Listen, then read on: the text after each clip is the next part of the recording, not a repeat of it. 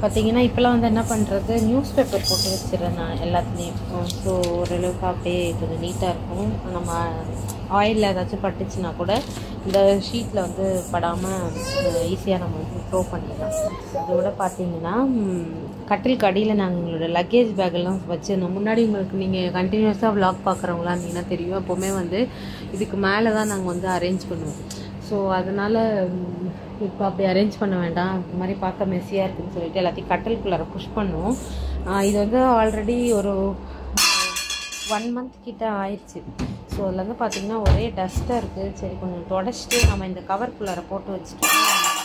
சேஃபாக இருக்கும் அப்படின்றதுனால ஸோ இதை அப்படியே வச்சிட்ருக்கேன் ஸோ பார்க்கலாம். இது தொடச்சிட்டு நம்ம கடகடன் கவர்க்குள்ளார போட்டு திரும்பியும் அஹ், இருக்கிற டஸ்ட்டெல்லாம் எடுத்துகிட்டு நம்ம வந்து டம்ப் பண்ணி வைக்கணும் உள்ள. பார்க்கலாம் ஓகே ஹாய் ஃப்ரெண்ட்ஸ் வணக்கம். And welcome back to Sara's vlog இன்றைக்கி வந்து காலையிலே நம்ம விலாக் வந்து ஸ்டார்ட் பண்ண போகிறோம் பிரேக்ஃபாஸ்ட் என்ன பண்ணுறேன் அப்படின்றத வந்து ஸ்டார்ட் பண்ணி லஞ்சு என்னென்ன பண்ண போகிறோன்றதை அப்படியே என்னால் முடிஞ்ச அளவுக்கு வீடியோவாக எடுத்து நான் உங்களுக்கு வந்து அப்லோட் பண்ணுறேன் ஓகே ஸோ இது வந்து பார்த்திங்கன்னா நேற்று பண்ண ரைஸ் லெஃப்ட் அவுட் ரைஸு அதுக்கப்புறம் வந்து கொஞ்சோண்டு மீன் குழம்பு எல்லாமே மீந்து இருந்துச்சு அதெல்லாம் எடுத்து ஓரம் தள்ளி வச்சுட்டு இப்போ வந்து சூப்பரான வந்து வெண்டைக்காய் பொரியலும் ஐ திங்க் சாம்பார் தான் பண்ணலான்னு இருக்கேன். பார்ப்போம் வேறு என்ன பண்ணுறது அப்படின்னு சொல்லிட்டு. வெண்டைக்காய் வந்து இந்த மாதிரி ட்ரை பண்ணி பாருங்கள் நிஜமாவே ரொம்ப டேஸ்ட்டாக இருக்கும். வெண்டைக்காய் வந்து நம்ம வந்து நல்லா வாஷ் பண்ணிவிட்டு நீங்கள் வேணும்னா தொடச்சிக்கோங்க. ஆனால் எனக்கு வந்து தண்ணி இருந்தாலும் பிரச்சனை கிடையாது. குழ குழலாம் வராது. இந்த மாதிரி சைஸில் வந்து நல்லா அழகாக கட் பண்ணிக்கோங்க. சாம்பார் வைக்கிறதுக்கு காய்கறிலாம் ஆல்ரெடி நைட்டே நான் ப்ரீ ப்ரிப்ரேஷன் ஒர்க் பண்ணும்போதே பண்ணி வச்சிட்டேன். ஸோ வந்து இப்போ டேரெக்டாக அப்படியே தாளித்து கொட்டிட்டு பருப்பு மட்டும் நம்ம வேக வச்சு வச்சுட்டு புளி வந்து இது பண்ணிட்டுனா பருப்பும் பாருங்கள் ஆல்ரெடி வந்து ரெடி ஆயிடுச்சு. நான் காமிக்கிறேன் திறந்து. இங்கே பாருங்கள் சூப்பராக ரெடி ஆயிடுச்சு. இது வந்து நம்ம அந்த ஸ்மாஷர் இருக்கு இல்லையா அதிலே போட்டு ஒரு கடை கடைஞ்சிட்டு அதுக்கப்புறமா எப்பவும் போல் சாம்பார் வச்சுக்க வேண்டியதான் புளியும் ஆல்ரெடி ஊற வச்சிட்டேன் நான் ஓகே இப்போ வந்து ஸ்டார்ட் பண்ணிடலாம். வெண்டைக்காயும் சைடில் நான் வந்து கடை கடன் கட் பண்ணிக்க போகிறேன் வெண்டைக்காய் தான் சாம்பாருக்கு பொரியல். சூப்பராக இருக்கும் இந்த காம்போ கண்டிப்பாக ட்ரை பண்ணி பாருங்கள் ஸோ இப்போ வந்து பார்த்தீங்கன்னா ஒரு வானலில் வந்து எண்ணெய் ஊற்றிட்டு கடுகு போட்டு ஜீரகம் போட்டு அதுக்கப்புறம் கொஞ்சம் நல்லா பொரியட்டும் காஞ்ச மிளகா இருந்தாலும் நம்ம போட்டுக்கலாம். காஞ்ச மிளகா போட்டுட்டு நல்லா வந்து பொரிஞ்சதுக்கப்புறமா வெங்காயம் தக்காளி எல்லா காய்கறியுமே நான் ஒன்றா ஆட் பண்ண போகிறேன் ஏன்னா எல்லாத்தையும் ஒன்றா கட் பண்ணி வச்சிட்டேன் இல்லையா? அதனால. கொஞ்சம் நல்லா வதங்கணும். கொஞ்சம் வதங்கினதுக்கப்புறமா ரொம்ப வதங்கணும் கிடையாது. அதே மாதிரி சாம்பாருக்கு வந்து தண்ணி வந்து ரெண்டு ரெண்டு வரமிளகா நல்லா போட்டாச்சு. இருக்கும் அதுவும் சாம்பார் வந்து இதாயிடுச்சு. இவ்வளோதான் காய் போட்டிருக்கேன். இதில் வந்து மாங்காவும் சேர்த்துருக்கு மாங்காய் மட்டும் எடுத்து வச்சிடலாம். நல்லா கொதிச்சதுக்கப்புறமா போட்டுக்கலாம். கத்திரிக்காய் பாருங்கள் எப்போ வெட்டி வச்சேன்? அப்படியே வெள்ளையாகவே இருக்கு பாருங்க.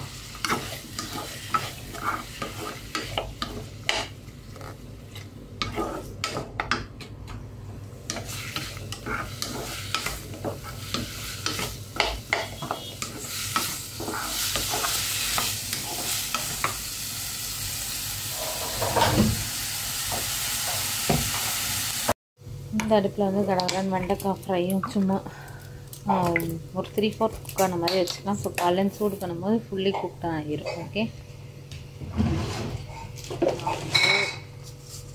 எண்ணெய் ஊற்றிட்டேன் கடுகு போட்டு.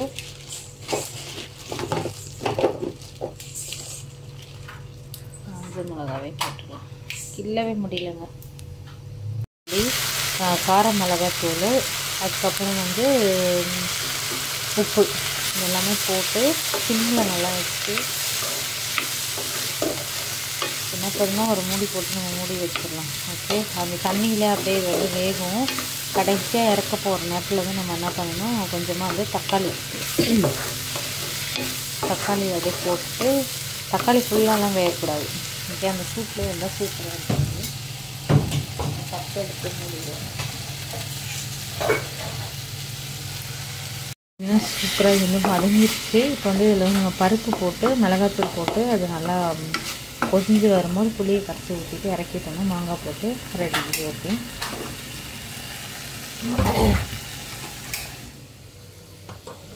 பார்த்தீங்கன்னா பருப்பு ஆல்ரெடி வேக வச்சுருந்தது நான் காமிச்சேன் இல்லையா? ப்ரீ ப்ரிப்ரேஷன் தான் அது. அப்படியே எடுத்து போட்டுக்க வேண்டியதான்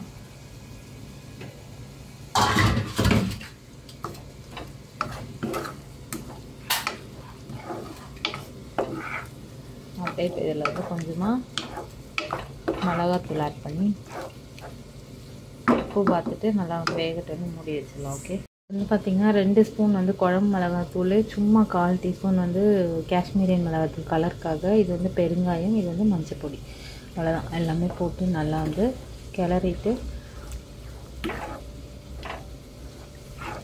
நல்லா கொதிஞ்சு மிளகாத்தூள் ஸ்மெல் போட்டோம். அதுக்கப்புறமா நம்ம வந்து புளி ஊற்றும் போது மாங்காய் போட்டுக்கலாம் ஓகே தண்ணி ஊற்றி நல்லா கொதிக்க விடுங்க.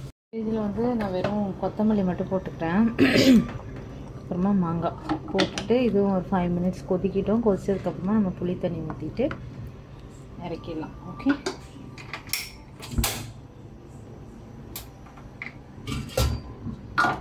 இந்த சைடில் வந்து டின்னருக்கு தோசை ரெடி ஆகிட்டு இருக்குது.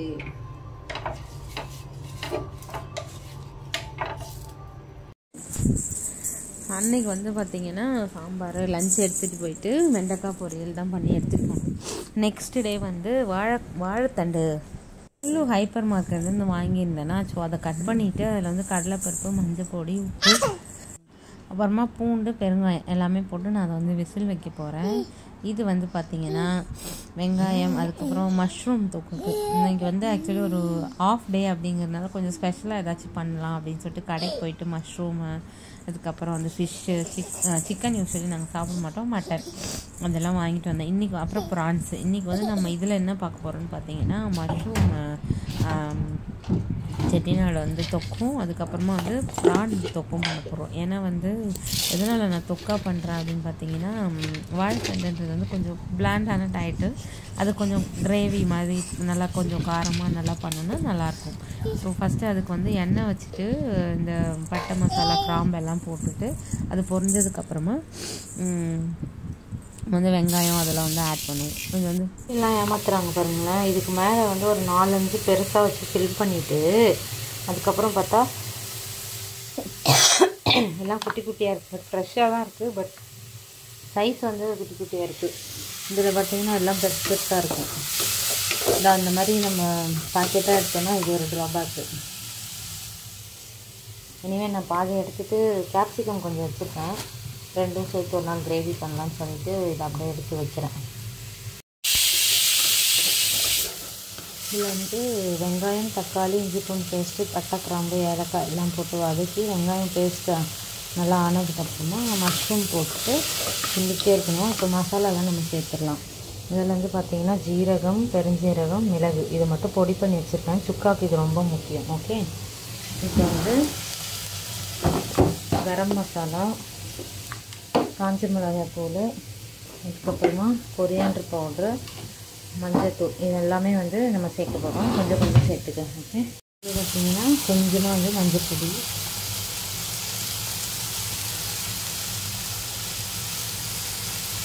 இது கரெக்டாக ஒரு ஒரு ஸ்பூன் தான் இருக்கும் கொரியாண்டர் பவுடர் காஞ்ச மிளகாய் தூள் இது காஷ்மீரியும் கிடையாது அதனால் சுத்தமாக பார்த்துக்கோங்க.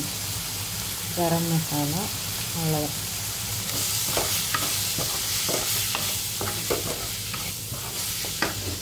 இறக்கியாச்சு. வச்சு இது ஒரு அஞ்சு நிமிஷம் வேகட்டும். வெந்ததுக்கப்புறமா அந்த பொடியை போட்டுட்டு நல்லா இறக்கிற வேண்டியதான் வந்துருச்சு. இந்த டைமில் வந்து காரம் மட்டும் எப்படி இருக்குன்னு பார்த்துட்டு அப்புறமா போடுங்க. நல்லா செம்ம கம கமன் வாசனையாக இருக்கும். ஏன்னா நம்ம வறுக்காமல் பச்சையாகவே அரைச்சி போடுறோம்ல சூப்பராக இருக்கும் வாசனை. இந்த மாதிரி கண்டிப்பாக ஒரு டைம் ட்ரை பண்ணி பாருங்கள் இதை நம்ம வந்து வேறு பேனுக்கு மாற்றிட்டு ப்ரான் பண்ணிடுவோம். பார்த்திங்கன்னா எண்ணெய் பெருஞ்சீரகம் பட்டை கிராம்பு மசாலா போட்டு நல்லா பொரிஞ்சதுக்கப்புறமா நம்ம வந்து வெங்காயம் ஃபஸ்ட்டு சேர்க்கணும் வெங்காயமும் ஒரு அரை பச்சை மிளகாயும் நான் சேர்த்துக்கிறேன்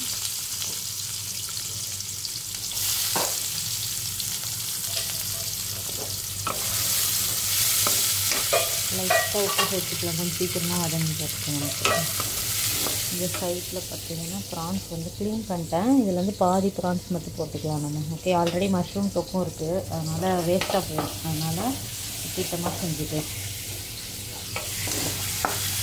கொஞ்சம் எண்ணெய் தாராளமாக சேர்த்துக்கணும். அப்போ தான் தொக்குக்கு நல்லா டேஸ்ட்டாக இருக்கும். இதில் வந்து பெருஞ்சீரகம் ஜீரகம் பெப்பர் இது மூணும் கலந்து மசாலா வந்து பச்சையாகவே வந்து அரைச்சி வச்சுருக்கேன். இது வந்து லாஸ்ட்டாக அப்படியே தூவிட்டு நம்ம இறக்கிக்கலாம். ஓகே இதில் இஞ்சி பூண்டு பேஸ்ட் சேர்த்து கொஞ்ச நேரத்துக்கு அப்புறமா தக்காளியும் சேர்த்துப்பேன். இது நல்லா வந்து மசிஞ்சு வரட்டும். வந்ததுக்கப்புறமா ப்ரான் ப்ரான் சேர்ப்போம். அதுக்கு முன்னாடி வந்து இதெல்லாம் சேர்த்துடலாம்.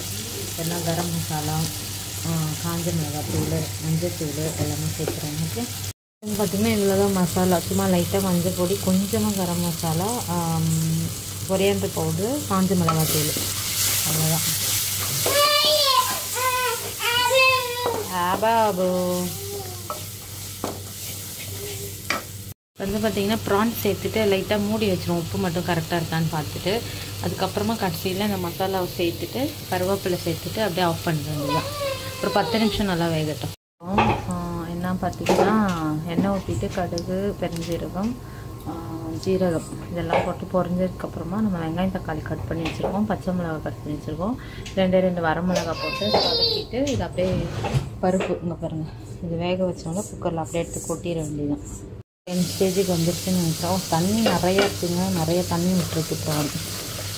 ஓகே திறந்து வச்சு நம்ம வேக வச்சுட்டு அப்படியே மாற்றிட வேண்டியதான் நல்லாவே வெந்துருச்சு. இப்போ வந்து இந்த மசாலா தூவிடலாம். இந்த பக்கம் வந்தீங்கன்னா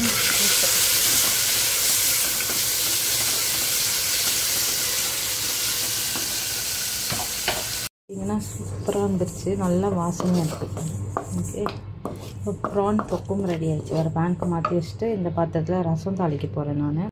ஹே கைஸ் எல்லாருக்கும் வணக்கம். வெல்கம் பேக் டு சார் vlog. காலையிலே வந்து நம்ம சும்மா ஒரு வாக் போயிட்டுருக்கோம். சரியான வெயில் சூடு. அது கூட ஒரு டீயும் வேறு நான் குடிச்சிக்கிட்டே போயிட்டுருக்கேன். காரணம் தோசை சாப்பிட்டேன் காலையில். டீ குடிக்கல. டீ குடிக்கலனா ஒரு பிரேக்ஃபாஸ்ட்டு கம்ப்ளீட்டாக அந்த மாதிரி ஒரு தோணலை இருக்க மாட்டேங்குது.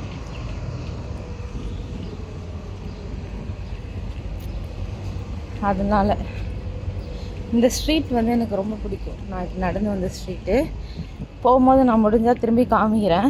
எவ்வளோ வெயிலாக இருந்தாலும் அந்த தெருவு மட்டும் எப்போவுமே வந்து குளு குளுன்னு வெயிலா மழை பெய்யுதா எதுவுமே தெரியாது. ஸோ பார்க்கலாம்.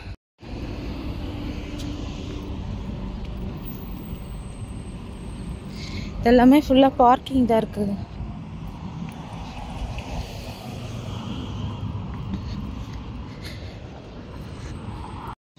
இங்கே இருக்கிறதுல வந்து நாங்கள் இருக்கிறது தான் பழைய பில்டிங்குன்னு நினச்சா இந்த பில்டிங் வந்து ரொம்ப ரொம்ப பழைய பில்டிங்கு ஆனால் இதுலேயுமே ஆளுங்க இருக்காங்க பாருங்க. இந்த துணிலாம் வந்து காய வச்சிருக்கிறாங்க. பேச்சுலர்ஸ் ரூம் போல் இதெல்லாம். ரொம்ப ஹைஜீனாக இருக்காது. எல்லா இடத்துலையும் ஒரே ஸ்மோக்கிங் இது. ஒரு மாதிரி இருக்குன்னு வச்சுங்களேன் டஞ்சன்ஸ் மாதிரி இருக்குது பார்க்க. பட் ஸ்டில் இருக்கிறாங்க ரொம்ப கம்மியான ரேட்டில் இருக்கும்னு நினைக்கிறேன் ஃப்ளாட்டு அதாவது பெட் ஸ்பேஸ்லாம் ஓகே நம்ம வந்து வந்தது வந்துட்டோம். சரி இங்கே ஒரு ஷாப் இருக்குது ஒன் டு டென் கிராம்ஸ் இது.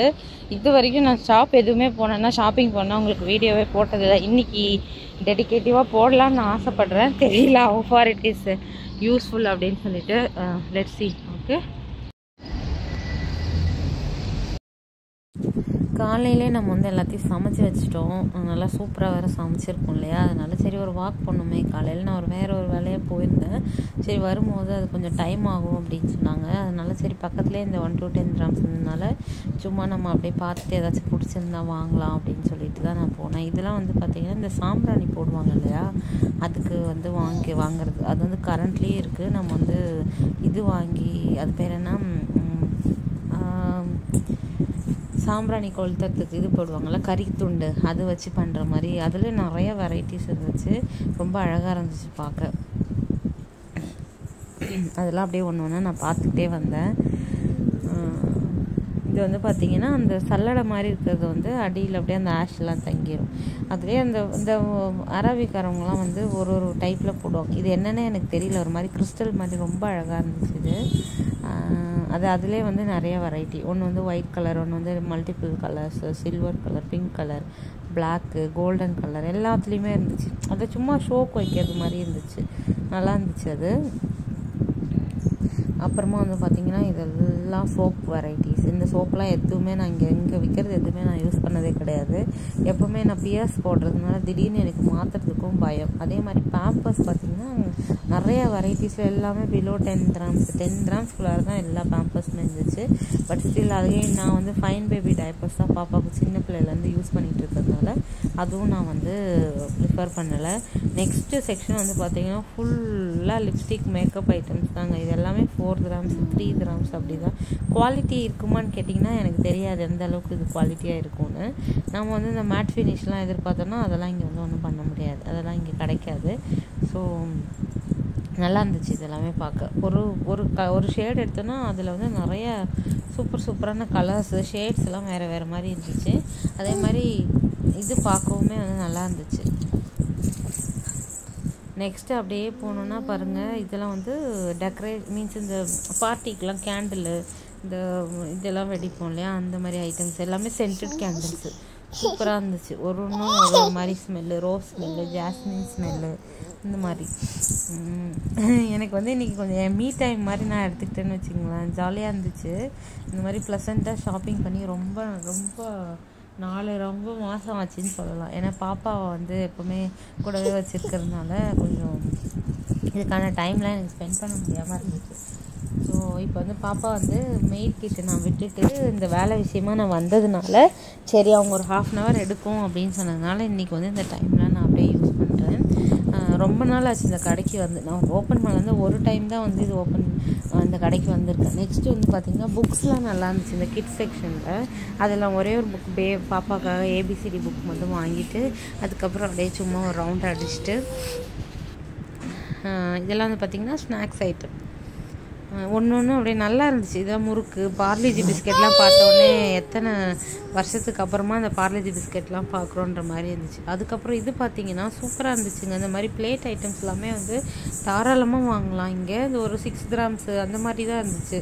இது இந்த பவுல்ஸ் இதெல்லாம் வந்து செராமிக் கோட்டடு ஏன்னா ஒன்று பட்டுன்னு அப்படியே உடஞ்சிரும். நம்ம வந்து பாப்பா வச்சுக்கிட்டு இதெல்லாம் நமக்கு ப்ரிப்பேர் பண்ண முடியாதுங்கிறதுனால நான் என்ன பண்ணிட்டேன்? அதெல்லாம் அப்படியே சும்மா வேடிக்கை மட்டும்தான் நம்ம பார்க்க முடியும் அப்படின்றதுனால வேடிக்கை மட்டும் பார்த்துட்டு அப்படியே சும்மா கிச்சன் ஐட்டம்ஸ்லாம் நிறைய என்னென்னோ வித்தியாசமாக ஸ்கூப் இந்த ஐஸ்கிரீம் ஸ்கூப்பு லெமன் ஸ்குவீசர் அந்த மாதிரி நிறைய இருந்துச்சு. இது வந்து முட்டை கட் பண்ணுறது அதில் முட்டையை வச்சுட்டு அப்படியே இது பண்ணோன்னா லேயர் லேயராக அழகாக வந்துடுது. பீட்டரு அதுக்கப்புறமா க க கேக்கு மோல்டு அதுக்கப்புறம் இந்த மெஷரிங் இது இது மாதிரி நிறைய இருந்துச்சு. நல்லா இருந்துச்சு இதெல்லாம் பார்க்க. இது எல்லாமே முட்டை கட்டர் தான் முட்டையை அதில் வச்சுட்டு நம்ம கட் பண்ணோன்னா அழகாக ஷேப்பாக வந்துடும் ஹலோ ஃப்ரெண்ட்ஸ் எல்லாருக்கும் வணக்கம். And welcome back to Sara's vlog. நம்ம வந்து இது ஷாப்பிங் போனது வந்து நான் காமிச்சிருந்திருப்பேன். என்னெல்லாம் இருந்துச்சு அப்படின்னு சொல்லிட்டு. நான் என்னெல்லாம் வாங்கிட்டு வந்தேன் அப்படின்றதையும் உங்களுக்கு வந்து ஷேர் பண்ணுறேன் ஓகே இது பார்த்தீங்கன்னா இது எனக்கு ரொம்ப பிடிச்சிருந்துச்சு பட் நல்லா costly five point two five grams இது வந்து சால்ட் பெப்பர்லாம் கொட்டி வைக்கிற மாதிரி. நல்லா இருந்துச்சு. மேக்ஸ் ஸ்மார்ட் இது கடை பேர். அதுக்கப்புறம் இது வந்து எதுக்கு வாங்கினேன் அப்படின்னு பார்த்தீங்கன்னா இங்கே வந்து டூல்ஸ் டூல்ஸ் பாக்ஸ் இருக்குது அது வந்து சுற்றி அது பேர் என்ன? திருப்புளி அதெல்லாம் இருக்கான் பாப்பா வந்து கை வச்சுட்டு வாயில் ஏதாச்சும் வச்சுட்டு காலில் ஏதாச்சும் போட்டுட்டு போகுதுன்னு ஒரு பயம். அதனால லாக்டாக இருந்துச்சுன்னா கொஞ்சம் செக்யூர்டாக இருக்குங்கிறதுனால இது நான் வாங்கியிருக்கேன். இது அப்புறமா எடுத்து அதில் வச்சிடணும். அப்புறமா த மோஸ்ட் இம்பார்ட்டன்ட் திங் இது வந்து பாப்பாவுக்கு ஹேட் வாங்கினேன். ரொம்ப வெயில் இங்கே அதிகமாக இருக்கா? எப்பயாச்சும் ஆக்சிடெண்ட்லாம் வெளில கூட்டு போகும்போது அது வெயில் தாங்க முடியாது. அதுக்காக இது நான் வாங்கினேன். இது வந்து பார்த்திங்கன்னா ஃபைவ் கிராம்ஸ்னு நினைக்கிறேன். அப்புறமா வந்து லெமன் ஸ்குவீசர் வாங்கினேன்.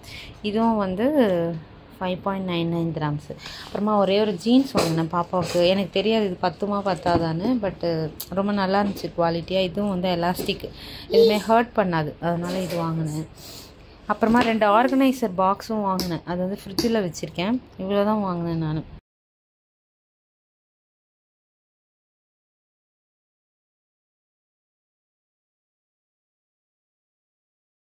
ஷாப்பிங் போயிட்டு அப்படியே டயர்ட் ஆயிடுச்சு. நைட்டு சரி ஓகே கொஞ்சம் அந்த பாஸ்தா கவரில் வந்து இது வந்து ஃபைவ் மினிட்ஸ் போட்டிருந்துச்சு. ஸோ ஃபைவ் மினிட்ஸ் நான் நல்லா வேக வச்சுட்டு எண்ணெய் ஊற்றி நிறுத்தி வச்சுருக்கேன் எண்ணெய் போட்டதுனால கொஞ்சம் காயாமல் இருக்கு வழ வழன்னு. கேப்சிகம் வந்து ஒயிட் சாஸ் பாஸ்தா மாதிரி தான் பண்ணலாம் அப்படின்னு எண்ணெய் ஊற்றிருக்கேன். பிளான் பண்ணேன்.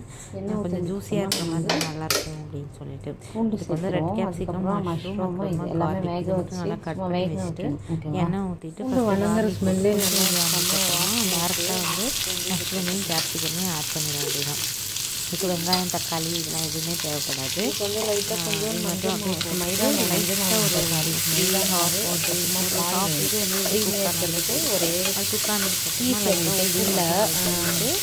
ப்ராசஸ் பீஸ்க்காக இருக்குது ரசம் ஆல்ரெடி வேக வச்சு சீக்கிரமாக பண்ணிடலாம். ஒரு ஸ்நாக்ஸு நல்லா ஒரு ஃபில்லிங்கான இந்த போட போகிறேன் அது மாதிரி எங்கிட்ட வந்து இந்த இப்போ வந்து மைதா மாவு சேர்த்துட்டு இல்லாத இதில் அப்படியே கூட பால் சேர்த்துக்கிறேன் நல்லா குக் ஆயிடுச்சு பார்த்தீங்கன்னா உங்களுக்கே தெரியும் பாருங்க.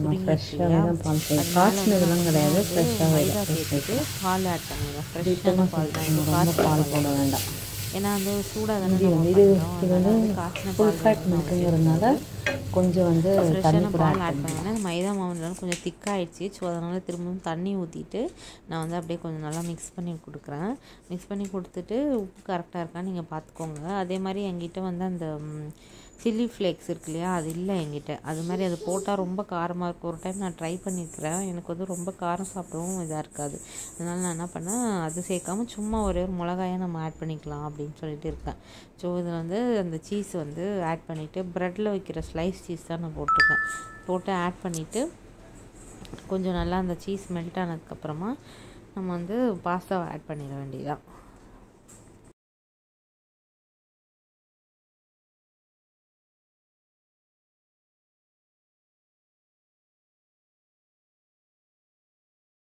இப்போ பார்த்தீங்கன்னா கம்ப்ளீட் ஸ்டேஜ்க்கு வந்துருச்சு. என்கிட்ட வந்து சில்லி ஃப்ளெக்ஸ் இல்லை.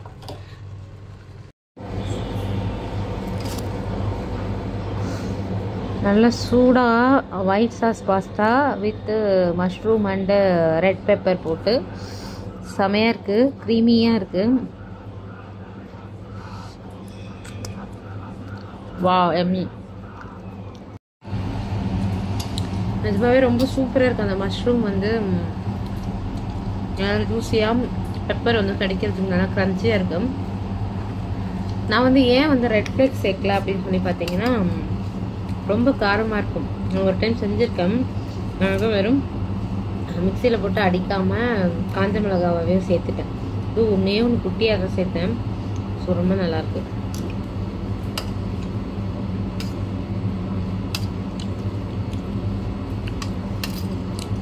லஞ்ச் வந்து இன்னைக்கு ரொம்ப கம்மியாக தான் சாப்பிட்டேன். ஸோ ரொம்ப பசியாக இருந்துச்சா? பாஸ்தாவும் ரொம்ப நல்லா இருக்குது ஸோ அதனால் மஷ்ரூமு பெப்பர் எல்லாமே இருந்துச்சா? சரின்னு சொல்லி செஞ்சிடலாம் அப்படின்னு சொல்லிட்டு செஞ்சுட்டேன்.